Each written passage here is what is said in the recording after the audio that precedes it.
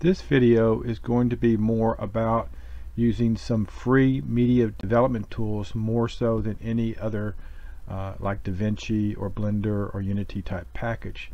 I will cover Blender which will be the first one up showing how I created a soda can and then I'm going to use Blender in order to modify the JPEG file, Unity to build the game and use the game engine, OBS as the video capture, and then finally DaVinci Resolve in order to put it all together and make a short video such as this or even if you want to do something for your game. Uh, Unity is a great package and game engine for creating games and Blender and GIMP are great for making assets for that and then OBS just captures everything. So first I'm going to start off with Blender and that's going to be the um, 3D modeling package that I use and by the way all these are free packages none of them are paid for and this is a soda can that I developed in uh, made using a tutorial and uh, you can see the wireframe on the left and I just kind of highlighted everything for you. And just create this diet soda can generic. But I was going to use this for an asset within the Unity uh, game that I was kind of developing. And you just tag the save command once you get done and uh, I've already saved this out so I didn't uh, duplicate it again. Second area of what I'm going to go over now is GIMP and this is like uh, Adobe and uh, Paint Shop Pro uh, packages such as this but GIMP is free again. And I'm just going to open a old like 1950s calendar uh, to give me that gangster look and something that would be in a gangster's um, like hideout you know an old calendar.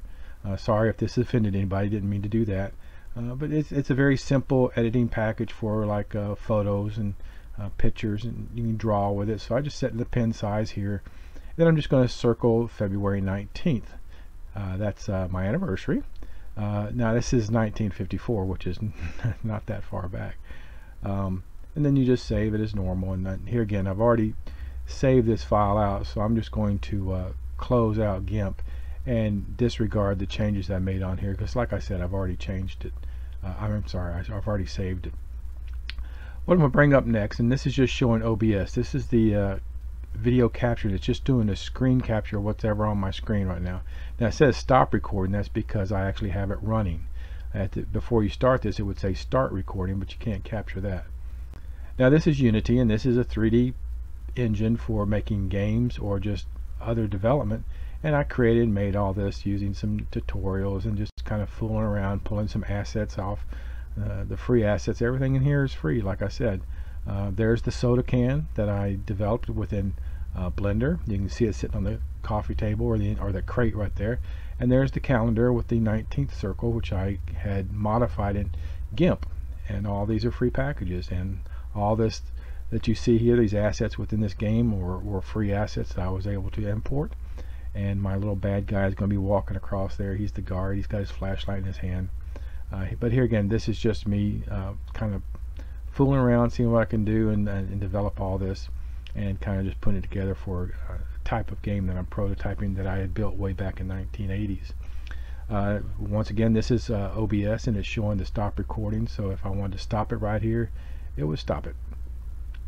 Uh, now what I'm going to do is show how I did these edits and pulled all these uh, items in within Unity itself. I'm, I'm, sorry, not Unity, but within DaVinci and edited the film in order to kind of create what I just showed you. I'm just going to create a new project here and uh, those are some of the other projects I had been working on that you might see in my YouTube videos. And I'm just going to uh, show you that I brought up DaVinci. I'm going to bring in these three clips. The first one is the Blender clip that I uh, that you saw just a few minutes ago and I'm just going to change so that the file settings uh, match what the project is bring in the GIMP one that I did and then here's the Unity I had brought in now the OBS clip was basically part of all three of them so I just kind of captured the tail end or the beginning of, of OBS so I'll just bring this on down into the timeline here at the bottom and uh, going a little slow here. This is just me dragging uh, what I'm going to do here is I'm going to unlink the audio from the video. I don't want to use the audio. I'm going to create the, my own audio track so then I'm just going to go up and say delete selected. So I unlinked them. If I just said delete selected it would have deleted both the video and the audio. So what I did was I unlinked the audio from the video and that way I can delete and modify them separately. In this case I just got rid of the audio completely. Uh, at this point I'm just kind of going through and searching where I want to cut this and where I want it to start. So I'm just uh, moving the timeline back and forth until I find where I want to start. And once I get it to a selection where I think that'll work then what I'll do is I'll go up to the razor tool right there and I'll just cut it at that point. And then I'll go back to the selection select the one that I don't want to get and I'll click ripple delete. Now what that will do it will delete the section that I had highlighted and then scoot the time the, the video clip on over to the left and line it up. If I just selected delete selected then it would have just left that gap there which is good in, in a lot of cases but in this case I just wanted to go ahead and clip it and cut it. At this point I'm doing the same thing. I'm going to cut it right there select it. This whole back side right here just going to say delete selected I don't need any of that. So I've edited the blender video. Now so that's got that first part done. Now I'm going to work on the um, the GIMP part of it. Here again I'm going to select link clips and that's going to unlink the, the audio from the video select the audio and go up and say delete selected get rid of that don't need that anymore. And do the same process now just kind of clicking to see where do I want uh, this part of the video to start and what I can cut out. Uh, like a lot of the beginning part of it I don't need so I'm just going to cut out what I don't need. And once I get to the point that I'm looking for I'm just hitting the back play button this is playing it backwards. And that way I can kind of see where I might want to start at that point and then I can stop it uh, at that point and use the slicing tool or the razor tool cut it go up and select the selecting arrow click on it and then once again I will say ripple delete and it will take out that section and scoot the entire clip over to the left matching it up with the first clip. And now here again same process going through this part here trying to figure out okay where do I want to cut this out? I'll hit the play button and then I'll stop it when I get to the point that I want and then again rinse and repeat use the razor tool cut it bring the selection tool highlight it and then say delete selected item so that gets two of them. So now I have the two. Now by selecting that little minus sign, what it did is just kind of backed it out and got more of the item into the screen.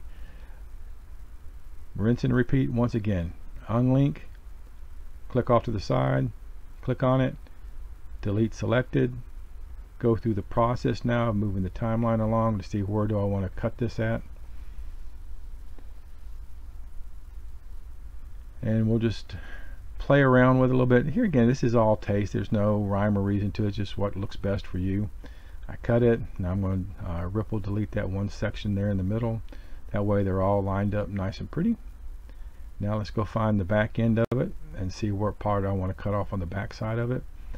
And here again, this is where I used um, I used Blender, I used GIMP, and I used Unity to create all these using OBS to capture all this uh, of the three different software packages.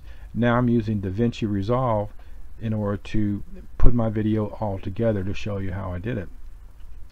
And what I really like about all these all these are free. Everything I'm using here is free. There's no uh, paid assets. There's no paid products here.